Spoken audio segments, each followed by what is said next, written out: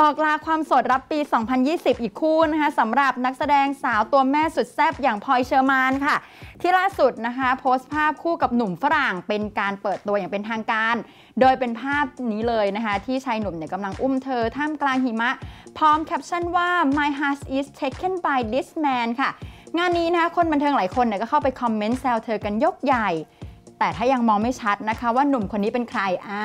ภาพนี้เป็นไงล่ะชัดๆเลยนะคะ เรามีเฉลยจากคุณลิเดียนะคะ เพราะว่าเธอเนี่ยได้มีการโพสต์ภาพหนุ่มฝรั่งคู่กับพลอย ที่เรียกว่าเห็นหน้าแบบชัดเจน